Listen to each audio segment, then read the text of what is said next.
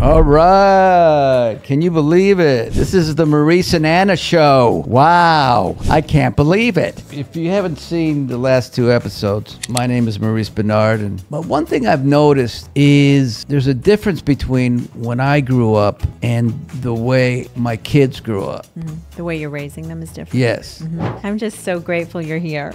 Right, right. Yes, Thank yes, you. yes. But I, I just feel there's a there's there's a little with the young generation, a little lack of respect. Where when Is it lack of respect or is it entitlement? very good question. Maybe both. Little both.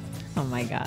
That when you're raising a child, you always have to remember that they need you to be understanding and loving as the parent at all times. That's not always so easy for us because we are human. We have responsibilities and stress in our lives, right?